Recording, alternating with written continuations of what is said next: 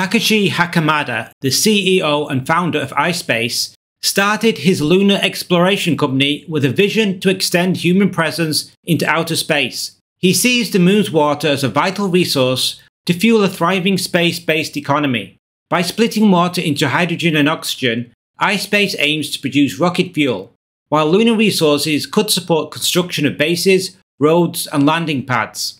Guided by the motto, expand our planet, expand our future, iSpace operates from its headquarters in Japan, with additional offices in Luxembourg and the United States, employing over 300 people worldwide.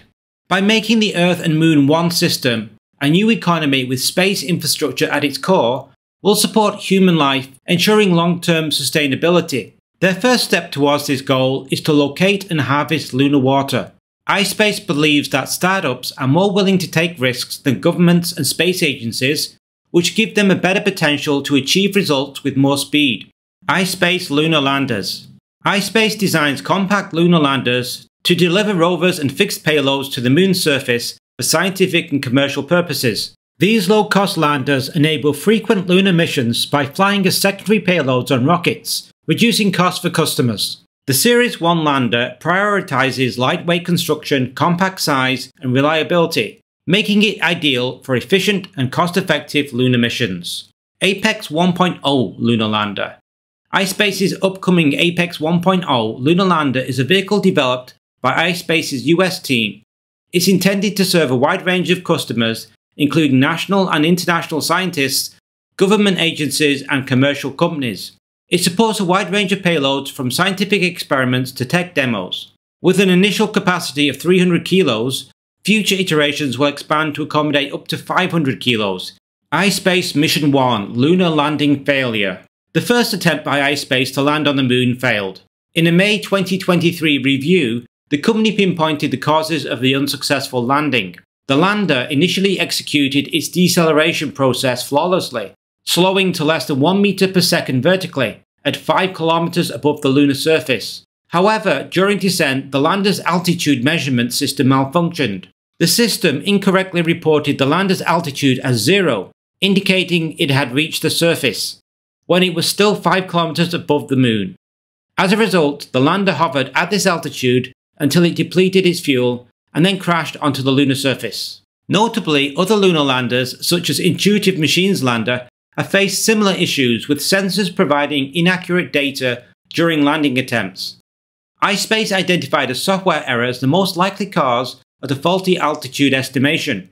To prevent future failures, the company will improve its software design adding more rigorous simulations of the landing sequence to ensure safe landings despite lunar hazards.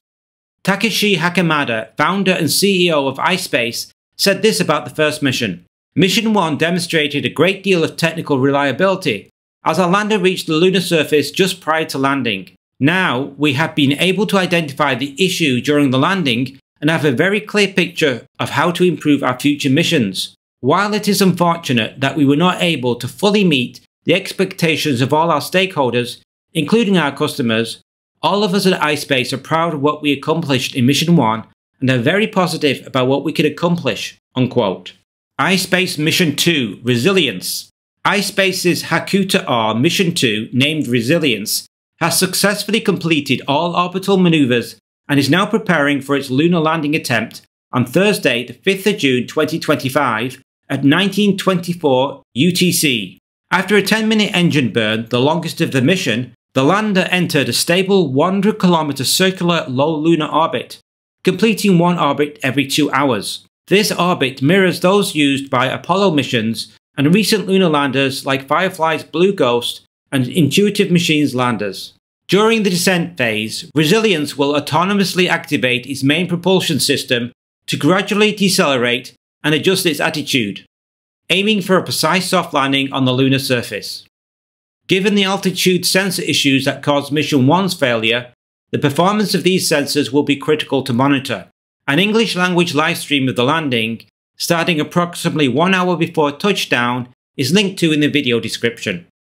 Takashi Hakamada, founder and CEO of iSpace, said, Having completed 8 of 10 mission milestones, Resilience is now ready to attempt a historic landing on the moon, carrying not only the payloads of our customers, but also the hopes of our employees, their families, our partners, and all of our supporters. We have leveraged the operational experience gained in Mission 1 and during this current voyage to the moon, and we are confident in our preparations for success of the lunar landing. Unquote.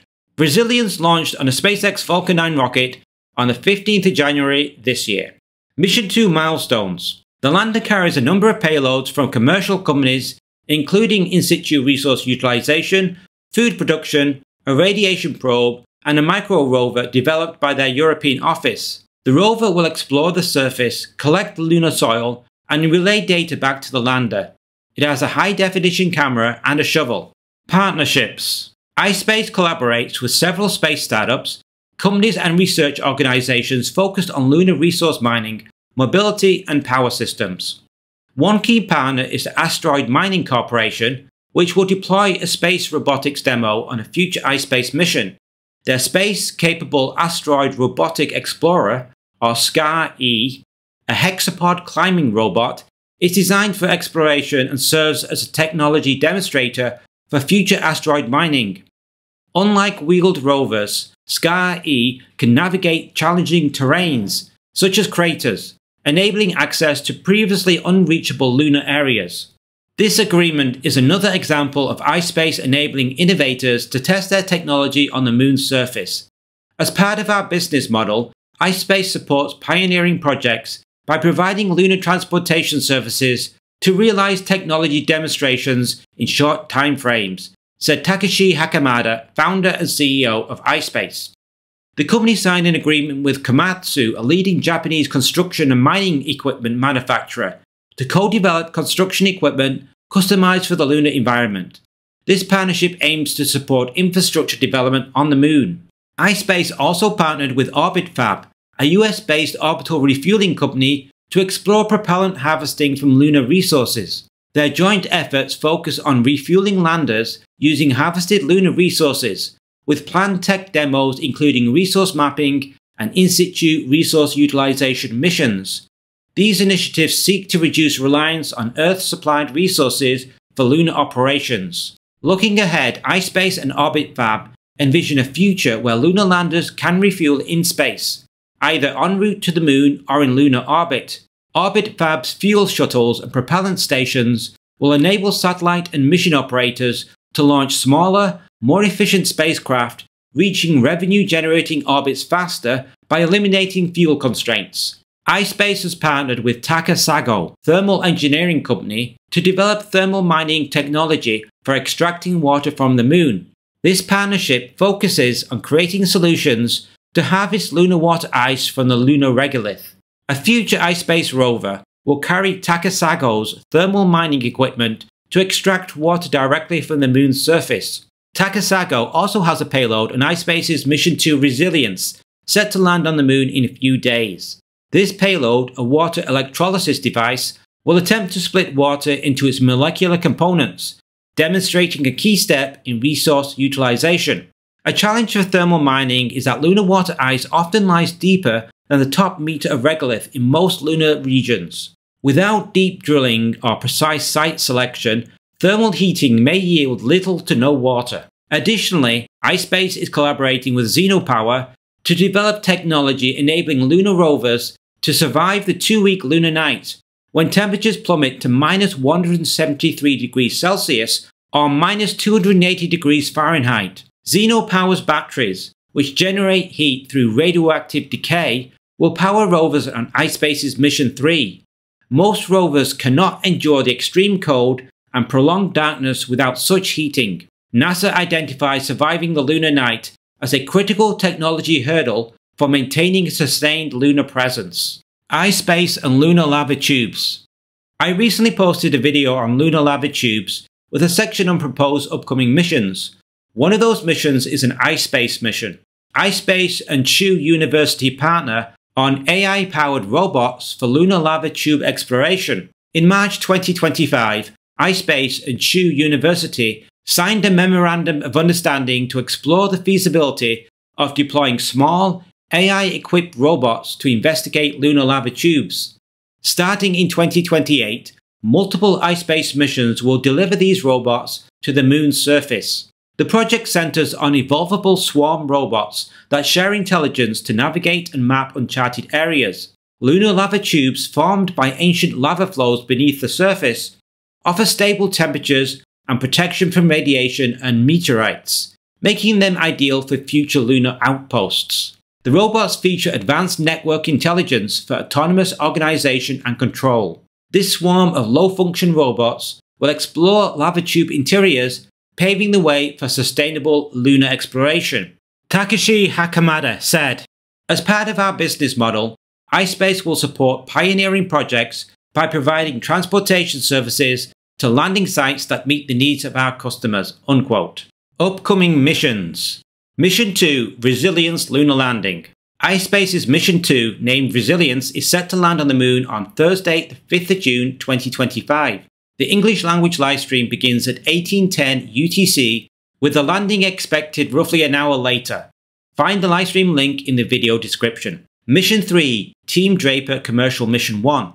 The next mission, Mission 3, also known as Team Draper Commercial Mission 1, will introduce iSpace's larger Apex 1.0 lunar lander. Scheduled for launch in 2027, this iSpace US mission supports NASA's Commercial Lunar Payload Services initiative, by providing lunar transportation services for Draper, the Apex 1.0 lander will deliver payloads to Schrodinger Basin on the Moon's far side, using relay satellites for communication post-landing. Mission 4 and beyond. iSpace's fourth mission, currently in development in Japan, is also slated for launch in 2027. Starting with Mission 3, iSpace plans to accelerate the frequency of its lunar landings to support a growing lunar economy what are your predictions for Missions 2's landing? Will it succeed, or could altitude sensor issues like those in Mission 1 lead to another crash? Share your thoughts in the comments below. Thanks for watching. Space News Live is on Saturday evening or Sunday morning, depending where you watch from. I recap the videos I posted this week, answer questions, respond to comments and chat messages, cover any missed news, and preview upcoming content. I'd love for you to join if you can. Be sure to like and subscribe so you'll see our upcoming videos. We make videos every week covering the space industry with an emphasis on the smaller space startups that aren't covered so well on other channels. See you soon.